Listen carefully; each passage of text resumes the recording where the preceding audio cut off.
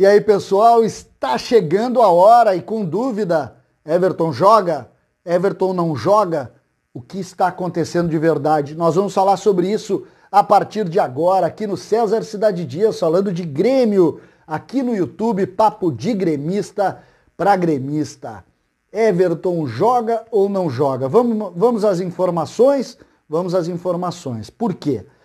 No, pela manhã hoje, Rádio Bandeirantes, Bruno Flores definiu e disse lá no programa 90 Minutos, ainda por volta das 10 horas da manhã, que Everton estaria fora do Grenal. Isso, fora do Grenal, informações importantes que ele tem com fontes muito importantes dentro do Grêmio. Segundo algumas uh, informações já no programa Os Donos da Bola, dando, dão conta que Jorge Jesus ligou para o Everton e pediu para ele não jogar. E esse teria sido um pedido do Everton junto ao treinador do Grêmio, Renato Portaluppi, para não jogar. E aí a gente fica é, com uma sensação do que está acontecendo. Eu tenho uma informação também que o Everton fez o contrário, pediu para jogar. Ele pediu para jogar. Então começa a se bater informações. Hoje pela manhã, muitos dando, dando conta de que Everton estaria fora. E eu lhes digo, não. Everton está concentrado. Everton, neste momento, está dentro do jogo. Renato Portaluppi conversou com ele e ele está dentro do jogo. Exatamente isso, dentro do jogo. Everton está escalado.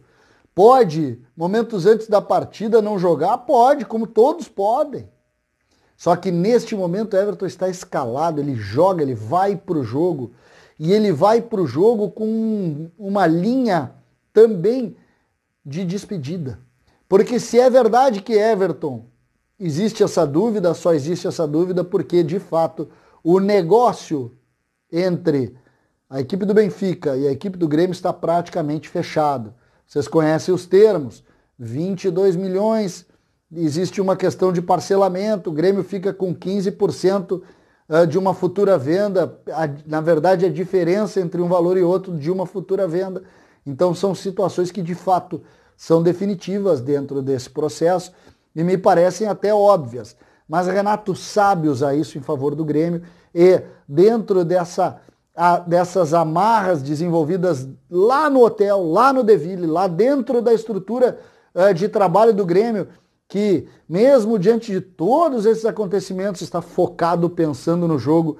O Grêmio vai ter um time experiente, de jogadores fortes, uh, muito, muito determinado. O Grêmio vai ter, por exemplo, Cortez no lugar, no lugar de Guilherme Guedes. O Grêmio vai ter Orejuela e sua força pelo lado direito.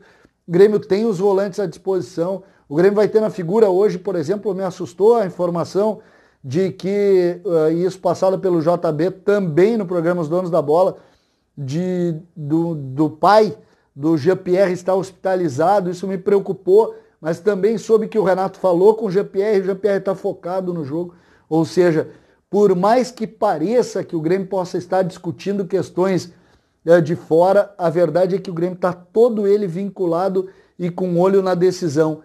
O Grêmio assim, muitas vezes passa a sensação de, ah, vai ser duro o jogo, tu vê como é que está o Grêmio. Não, gente. Aí entra a figura do Renato.